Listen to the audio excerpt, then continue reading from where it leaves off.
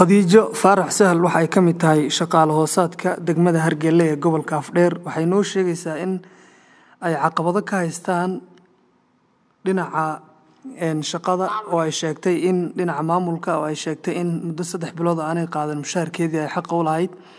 Waxaanay sheegtay in lagu cadaadinayo ama lagu caqabadeynayo ka tirsanaanshaheeda xisbiga o n l f oo dhowaan heshiis nabadeed la qaatay dowladda etoobiya haye khadiija bal soo dhawow haddii aad nooga warantid caqabadaha ku haysta iyo waxa ay yihiin iyo cidda kugu haysa bal marka hore soo dhawow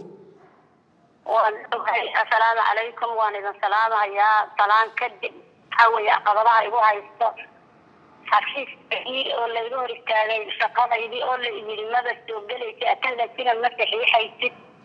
Maadaama aad taageero u fidisay oo taageero aad tiri waxaan ahay on alif.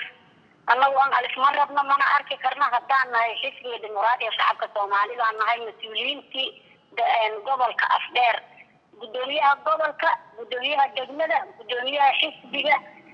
Saddexdaa weeye horta saddexda aniga iila asbaxday ee afkooda iiga sheegtay. Wax la igu xanti iyo waxaan meelo ka soo maqlane waxaa weeye waa say iila soo hor istaageen. Igu yidhi u doono xisbiga on alif mushaar u doono annaga mushaar naguma lihid ayagoo af cad igu yidhi saddex biloodna mushaarka iga joojiyeen.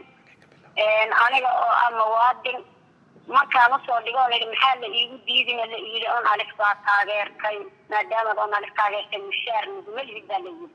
Waayahay goormay soo bilaabatay hawshani? Waxaynu igu bilaabatay maalin ay imaadeen wasiiriintii ninka xafiiska ka socday xoolaha ee la yidhaahdo dayib markuu imaadeen labadaa wasiir yaa waxaa la yidhi on alif qofkii ah intii shir layskugu kala yidhi hoolka degmada hargeele ee baarlamaanka. Yaa waxaa la yidhi dayib buu ahaa weliba ruuxa yidhi carabka ka istaagay. Qofka on alif ah ee qaadan haya buu yidhi nimcada xisbigan tallaabo sharcigaa laga qaada buu yidhi maxaa uu ula muxuu ula jeedaa nimcada nimcada muxuu ula jeedaa markaa dayib? Wuxuu ula jeedaa macnaha mushaarka qaadan haya weeye sax. Tallaabaa laga qaadi buu yidhi. Ha iscadeeyo buu yidhi. Hadda hoolkan hadduu fadhiyo oo ha istaago oo ha yidhaahdo ana xisbigaabaan taageeraya. Waan gartay. Waan istaagay gacantaan sheegay xisbigee taageeri buu yidhi. Xisbiga on alif baan taageeri baan sax u doonuu yidhi xafiiska on alif mushaar afkiisa asagaa iga yidhi. Iridaan ka soo baxay guddoomiyihii gobolka iyo guddoomiyihii degmada shir bay galeen xubnaa loo yeedhay waa in laga jeejiyadaa layidhi qoftaa mushaarka ay qaadanayso. Sax. Xilligiiba bishii markaan doontay waxaa laygu yidhi waa lagaa reebay dalabaadkii waan ka soo tegay guddoomiyihii degmadaan u imaaday ee xafiiskiisa aan ka shaqaynhayay ee bakhaarhayaha u ahaa. Wuxuu igu yidhi on alif ka u doono buu yidhi mushaar. Orod on alif u doono ha ku siisa iyadaa taageertay xisbigan kuma lihid buu yidhi mushaar. Waan gartay. Marka ma la xidhiidhay kuwa xisbiga wakiilada uga ah gobolka afdheer xisbigan s d b ee talada haya deegaanka. Cabashada bal waan la xidhiidho xafiiska degmada cabashadaan tegay. Waan gartay warqadii baan geystay waxaan idhi arrintaas ay haysato mushaarkina waa laiga jeejiyey sidaadaana la iiga jeejiyey waxba way iiga qaban waayeen. Midda waxaan tegay haddana gobolkaan tegay cabashada. Waxba way iiga qaban waayeen. Guddoomiyihii gobolkaan intagoon hor istaagay waan gartay warqad baan u geeyey. Wuu fadhiyey guddoomiye ku-xigeenku wuu fadhiyey guddoomiyaha gobolka. Waxay igu yidhi guddoomiyaha gobolka anagu degmo ma xukunno. Afkiisa iga yidhi laakiin bal waan la soo hadlay buu yidhi mana jirta markaa la hadalay anuu iskaga kay soo dirahayay. Haddaan imaaday wax la hadlayna maare wax isiiye mushaarna maare shalay oo dambaysti markaan laba jeer ku noqday guddoomiyaha degmada oon waaniyay oon la hadlo layidhi walaalo walaashaadaan ahay carruurta yararkii agoonta adaan waxaan ugu gadaya qalinkiiyo buugga.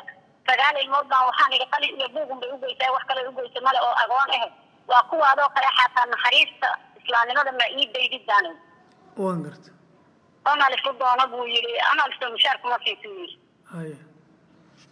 on alif mushaar anu kama qaatee waa xisbi taageero aan ka ahay e waxaan idhi on alif u nahay gurin on alif maxaad iigu xeydhin baa idhi xafiiskan ka shaqaynayay.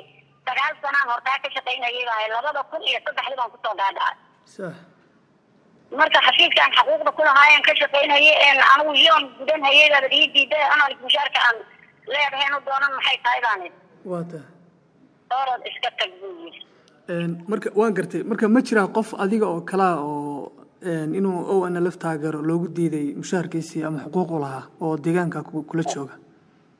Waxaan waxaa weeye qabiil qabiil iyo hebel iyo waxaasay horta yay yay xeeriyaan. Waan gartay. Aniga dad hadda xubno ah oo mushaar qaato oo anal istaageero oon isla joogno way jiraan.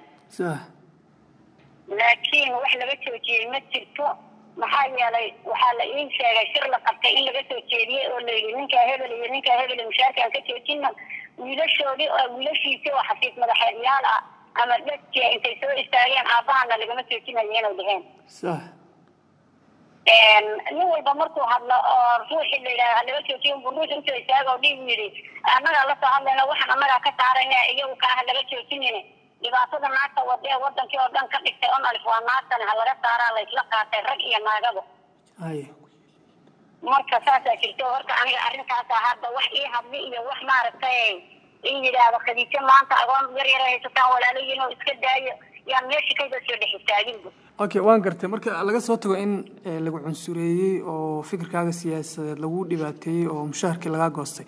Ma jirtaa wax dhibaato oo lagu geystay in tusaalaan in lagu xidhay ama tacad yacni jirdil wax uun ma jiraan dhibaato kaloo lagu geystay ama aflagaado? Dhibaato kale way jirtaa oo xafiiskaygiba inaan galo waxaan ooga aagay oo gacanta ii qaaday oo haraatida ugu dhuftay kursigii ku dhacday ninka madaxa xisbiga ku-xigeen iyo anu madaxa xisbiga usiya mooyadiisabe laakiin anu ku-xigeen baan ogahay maxamed yare la yidhaahdaa ina axmed xasan gadiid la yidhaahdaa tala yoon ki aha saaka hadda waa jamcaan xafiiska uma shaqatay waxaa inta khamiisa lagu dili lahaa banaanka iskaga marbaayo ninkaasaa shalayta igula dilayba xafiiska dhexdiisa dilay haye gudoomiyaha degmada qalinka wejiga igaga dhuftay shan bay igu kor taagnaayeen markuu qalinka igu dhuftay halkii su'aalan weydiiyeen gudoomiye waxaan doonay mushaarkii maa nooga baxa kiiska buu yidhi intuu qalinkiisa igu halgaaday ilaankii alla kaa qaadiya maadoo an alif shalay taageeraya maanta inaad mushaar qaadato dooni waan gartay. Magacii baa la dhaha gudoomiyaha degmada. magacii magacii gudoomiyaha degmada. Gudoomiyaha degmada axmed maxamed axmed baa la yidhahdaa santuurna wuu ku magac dheeriyay okay qolyahan aad taageertay xisbiga ma wax cabashaa moo gudbisay ama arrinkaaga ma la socdaan? Waan u gudbiyey oo hadda waxaan ka qayb galay shirki weynaa ee guday baan ka qayb gala waan garta amaraalka cabdiraxmaan markii la doortay waan u tegay leef baan ugu tegay maalintii uu su'aal baxayo waan u sheegay. Annaga gudoomiyaha gobolka analifta ee halka ila jooga iyo aniga waan tagnay. Waxaan u tagnay gudoomiyaha gobolkaan u tagnay. Waxaan u tegay asagana qoladan iyagana waxaan u tegay xisbi dhaalkigan booliskaan u tegay. Mm, annagu mushaare kama shaqayna baa layidhi marka gobolka annagana saasaan oogu wada tagnay cabdiraxmaan cabdiraxmaan maadayna waan u tagay sheekh maadayna waan u tegay oo sidaasana isagana waan u sheegay hortiisaba nooga sheegay afhayeenka waan u sheegay isagana cadaani way jirtaa inaan u sheego weliba cabdiraxmaan waxaan u dhiibay warqad qoraalaan u dhiibay waan een, afhayeenku muxuu ku yidhi? Afhayeenka wuxuu igu yidhi gudoomiyihii gobol asagu markaa waan taagtaagnayn afku baan ooga sheegay xafiis oguma tegin wuxuu igu yidhi gudoomiyaha gobolka warbixinta ha soo gudbiyo. Marka gudbintina waxaan u geynay cabdiraxmaan baan u geynay waayahay aad iyo aad baad umahadsan tahay